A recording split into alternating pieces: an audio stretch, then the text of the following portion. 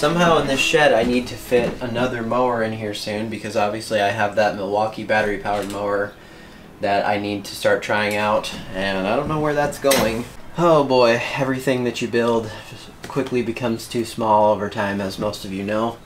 But I'm looking for some fertilizer today. I am going to head out to our new place and put something down on a couple of those plots. And I also need to find my shade grass seed because I need to tell you about what's going on in that shade area and what my plan is for that. I have all my grass seed pretty much in totes except for I believe this one. Let's see what I've got.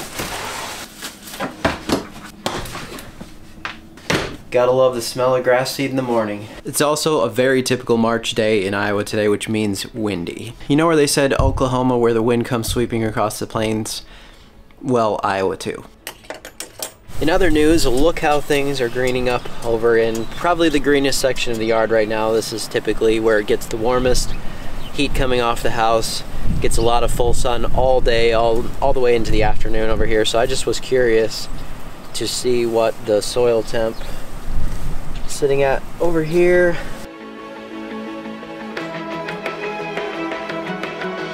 Seeing that you're starting to get into the window now of thinking about pre-emergent and definitely I would start thinking about pre-emergent once you hit 50 for sure.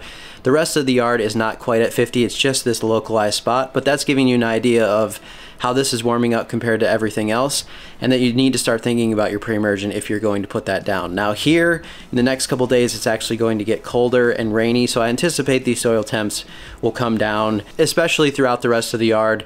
This is just sort of a hot spot, but I wanted to give you the idea of look at some of those hot spots in your yard, see where those are at compared to everything else. And it wouldn't be too bad to get your pre-emergent down slightly early anyway, so be thinking about that now. For me, I'm not planning to use any pre-emergence here on my lawn. I haven't done that for the last few years.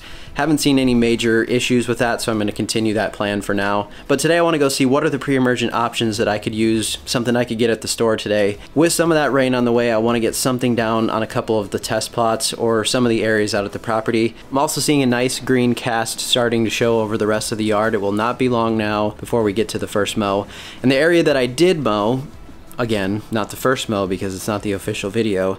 That responded well though, and it is greening up nicely. It took off a few of the brown tips. That's what the rest of the yard should look like shortly. Also, I want to show you, if you see a couple spots like this in your lawn that look greener than everything else, just in a circle, most likely that was from a dog. At least that's what it was from our yard. So you can see that a shot of fertilizer over the winter in these spots made it green up really quickly. Another thing I've been thinking about is a liquid application soon on the low cut turf. I've kind of lagged along in the past uh, not getting fertilizer on there quick enough in the springtime and it hasn't had anything spoon feeding wise that's my main program it hasn't had anything since early October somewhere around there so that's a long time to let it wait with low amounts of fertilizer that I was putting on last season in incremental doses so I'll explain all of that coming up this season, and that won't be too long before the first application goes down on this low cut turf. Haven't driven the old 99 in a while, so probably time to get it back on the highway today. Give me the light, give me the light, give me the light. I'm tired of the darkness. As much as I'd love to continue with the total 80s lunch hour, I think it's time to check some fertilizer prices. I'm tired of the darkness. Good old 10 10 10. Oh,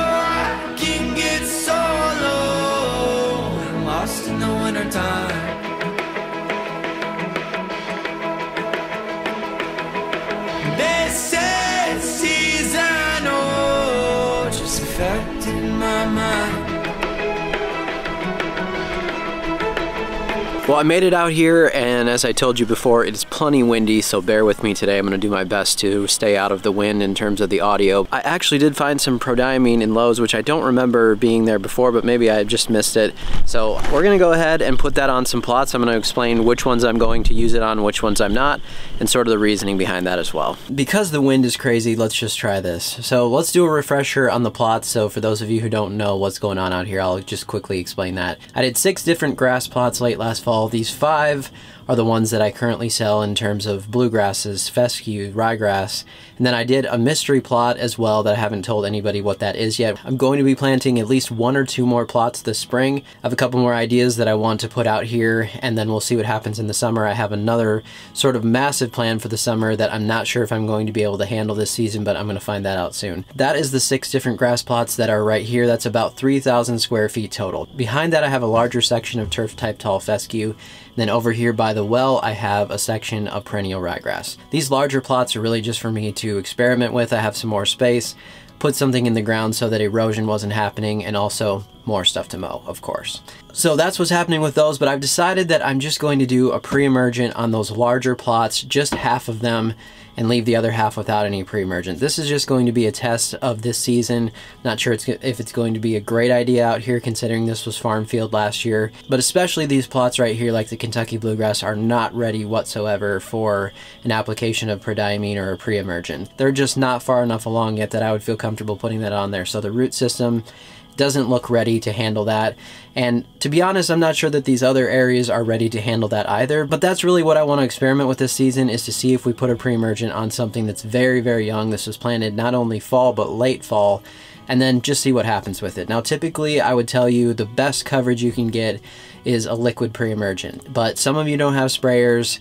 A lot of you like to spread things, so I decided to also test this with a granular product just because it was readily available and as you've seen from the wind today, there's no way I'm doing any spraying. Also, if you watched any of my pre-emergent versus seeding type content from earlier this spring, you know that I talked about the importance of having a small prill size if you're going to apply a granular. This is important because as I mentioned, Liquid would be the best option. It's the best coverage to get a blanket over the soil. But if you're going to do a granular, you don't want huge pieces of that out there to try to give a blanket coverage over everything. As small a prill size as you can find is going to be a good idea to get better coverage, and that's called SGN. I talked about that earlier this year. That's size guide number, but the lower the number, the finer the material and the better coverage you're going to have. So this one that I found in the store, there was a couple bags that were broken open, as this is very typical in stores when you find granulars. It looked fairly small, small enough that I feel comfortable giving this a try and let's go see what the bag rate says and how to apply it. Okay, I know this is not necessarily the fun part, but this is the important part of looking at the label. Maximum annual rates down at the bottom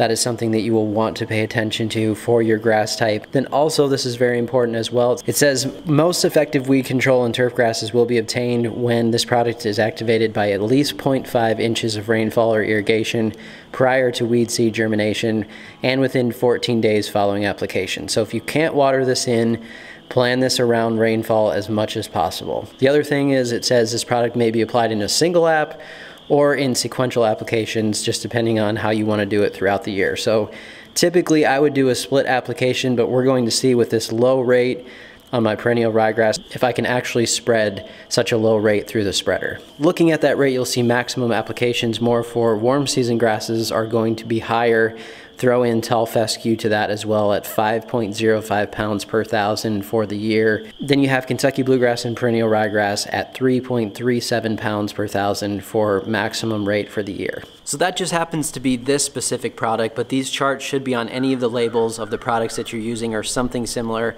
It's going to give you your maximum rates for the year. You need to follow that. Then also it should give you in a granular form, it should give you some sort of idea of what to set a spreader at for a certain setting. And this chart over here gives you different settings depending on what rate you want to use because I said I want to do a split application if possible. That means using a smaller amount now, then a smaller amount probably around the beginning of June here. Soil temperatures around 70 when they hit that. I would like to do my second application. But because this rate is sort of low for ryegrass already in terms of the maximum for the year, I'm gonna have to see if I can actually spread a lower amount. Otherwise, I may have to go with a higher amount now and not do a split application on that.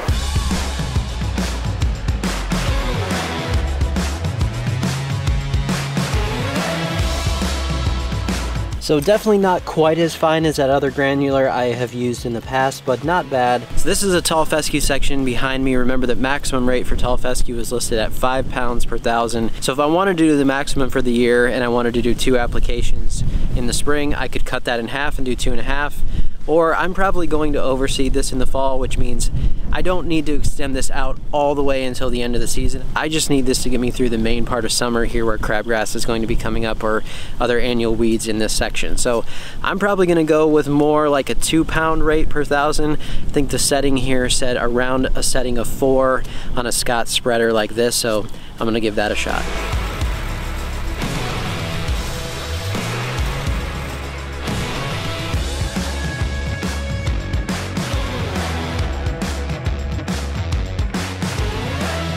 Here you'll see in a thin spot the coverage that I'm getting right through here. It's pretty good, pretty good and even. And that was at a setting of four. It spread pretty well at a setting of four. So you'll see I'm standing in the middle of this fescue plot right here.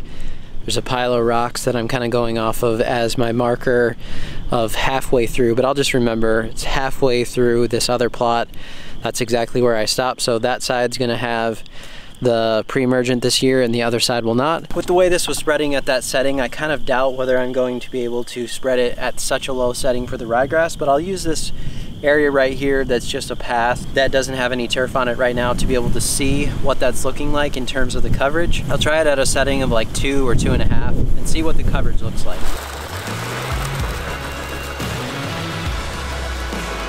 So that is at a two and a half and you can see how far apart these prills are. You're not getting very good even coverage.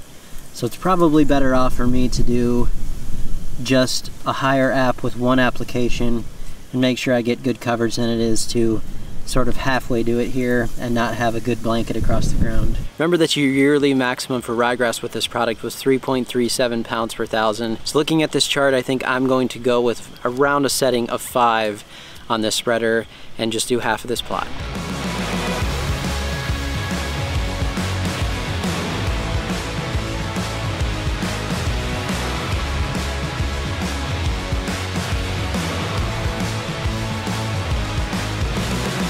Next thing I want to do is get one quick application of this fertilizer down.